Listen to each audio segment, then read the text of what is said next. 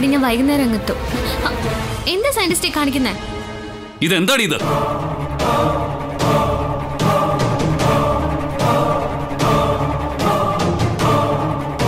നീ ഇത് മനഃപൂർവം ചെയ്തല്ലേ അയ്യോ എനിക്കൊന്നും അറിയില്ല സയന്റിസ്റ്റേ അയൺ ബോക്സ് ഞാൻ മാറ്റി വെച്ചിട്ടാ വന്നത്. പിന്നെ എങ്ങനെയാടി? അയൺ ബോക്സ് സ്വയം ഷർട്ടിന്റെ മുകളിൽ വന്നിരുന്ന് കരിച്ചു കളഞ്ഞോ? എന്നോട് എന്തെങ്കിലും ദേഷ്യം ഉണ്ടെങ്കിൽ അത് ഇതുപോലെ തറവേല കാണിച്ചല്ല തീർക്കേണ്ടത്.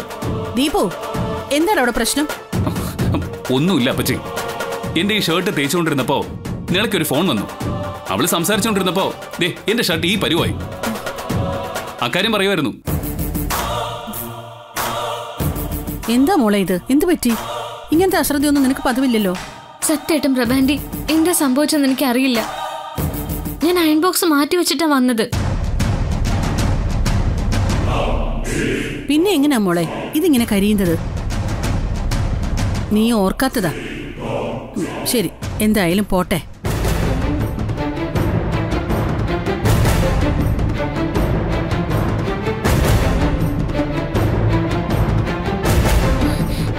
എന്താ ഇവിടെ ഒരു ഒച്ചയും ബഹളോ ദേ ഇത് തന്നെയാ ഒച്ചയുടെയും ബഹളത്തിന്റെ കാര്യം.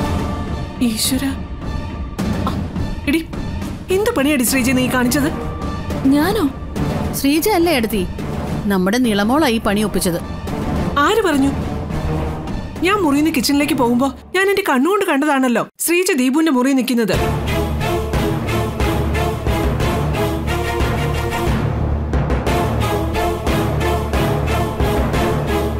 ഞാനപ്പോ മനസ്സിൽ ഓർക്കുകയും ചെയ്തു. ദീപുവിന്റെ ഷർട്ട് തയ്ച്ചു കൊടുക്കാൻ മാത്രം ഇവൾ നല്ല കുട്ടിയായോന്ന്.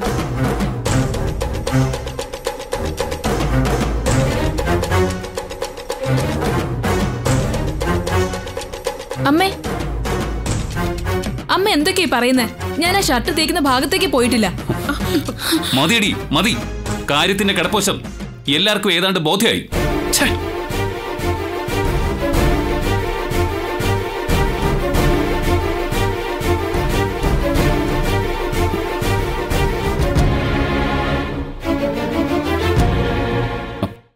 സോറി നില.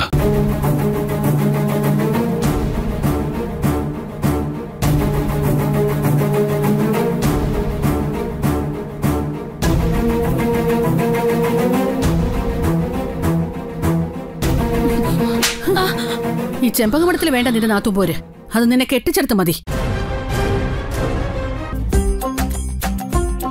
ഒന്ന് വാരി വായിൽ വെച്ച് തരണോ സയന്റിസ്റ്റേ?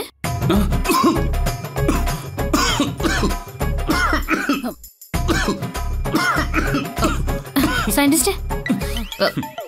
വെള്ളം കുടിക്ക.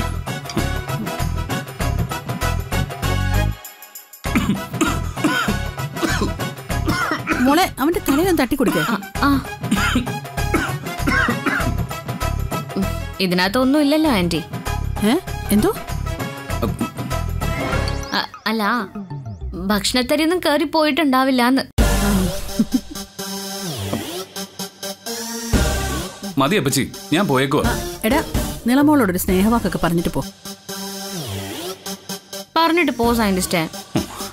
പോയിട്ട് വരട്ടെ ഡാർലിംഗ്. ആയിക്കോട്ടെ ഡിയർ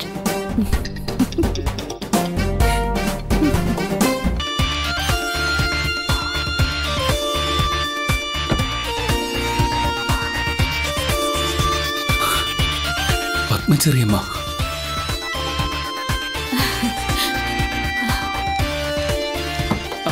പ്രഭാപച്ചി നമ്മുടെ പത്മചെറിയമ്മ എത്തി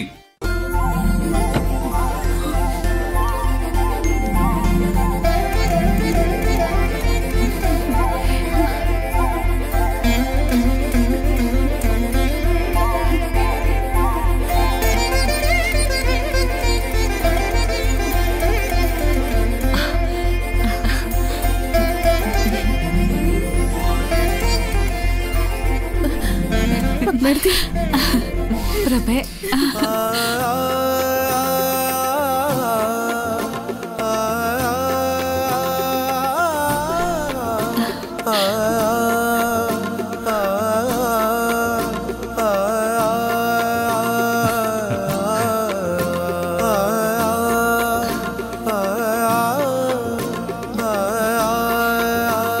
എന്താ പ്രഭേ? വിഷമിച്ചിട്ടാണോ നീ എന്നെ സ്വീകരിക്കുന്നത്? ഒരായുസിന്റെ മുഴുവൻ വേദനയും ഇതിനോടകം സഹിച്ചു കഴിഞ്ഞില്ലേ? എന്റെ പത്മേടത്തെയും ഗോവിന്ദേട്ടനും ഈ കരച്ചിലും വേദനയൊക്കെ ഞങ്ങൾക്കിപ്പോ ഒരു ശീലമായിപ്പോയി പ്രഭേ.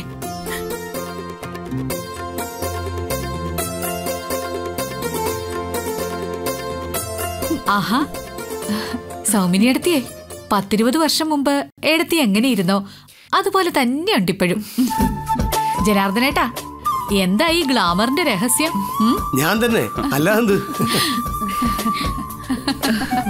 എടാ യദുവേ അതെ നിന്റെ ബാങ്കിൽ പോകാനുള്ള മടിയൊക്കെ മാറിയോടാ. ഇവനല്ലേ ആൾ മാറിയത് തന്നെ. ആ അതിനൊക്കെ ദീപുമോൻ. കണ്ടോ ജോലി കഴിഞ്ഞിട്ടേ ഉള്ളു മറ്റെന്തും. ഞാൻ ഇറങ്ങാൻ തുടങ്ങായിരുന്നു അപ്പോഴാ ചെറിയമ്മയുടെ ആണോ? എന്നാ വേഗം പോയിക്കോ. ഉം, വിട്ടോ വിട്ടോ വിട്ടോ. പോയിക്കോ. ആ? എടി ശ്രീജക്കുട്ടി നീ ഇവിടെ ഉണ്ടായിരുന്നോ?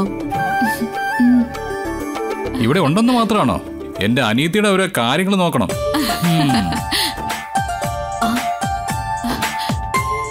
നീളമോളെ ഞാൻ ആദ്യം കണ്ടത് മോളെയായിരുന്നു മോൾ കാരണ എന്റെ മഞ്ഞയ്ക്ക് ഡൽഹിയിലെ കോഴ്സിന് ചേരാൻ പറ്റിയത്.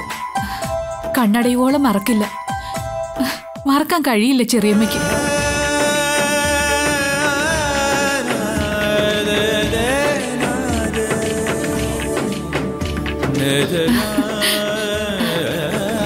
സൗമിനി എടുത്തി. എടുത്തിയുടെ ഭാഗ്യ നിളമോൾ. മഹാലക്ഷ്മിയല്ലേ മരുമോളായി കിട്ടിയിരിക്കുന്നത് എല്ലാം നിങ്ങളുടെ പ്രാർത്ഥനയുടെ ഫലമാ. അല്ല ഇവിടെ ഇങ്ങനെ നിന്നാ മതിയോ? ഐശ്വര്യമായിട്ട് അകത്തേക്ക് കയറ്. ആ. അതോടെ വെച്ചേക്ക്. ഞങ്ങൾ എടുത്തു വെക്കാം. എടി ഇതെടുക്കൂ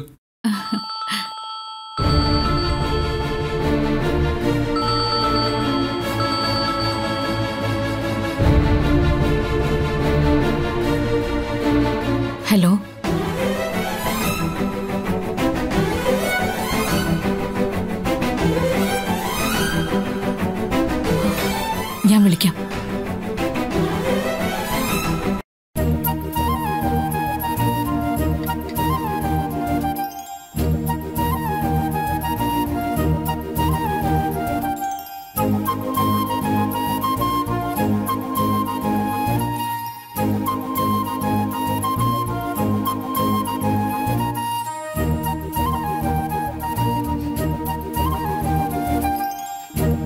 എന്താ പത്മേടത്തി?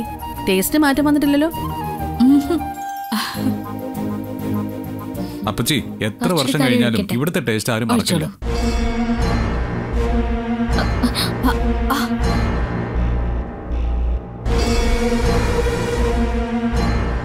സോറി ആന്റി സാരമില്ല മോളെ. എന്ത് സാരമില്ലാന്ന്?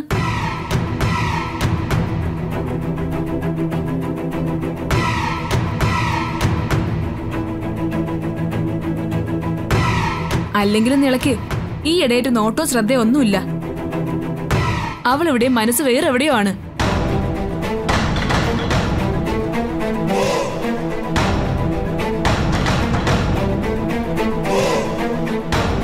ഞാൻ വിളമ്പിക്കോളാം.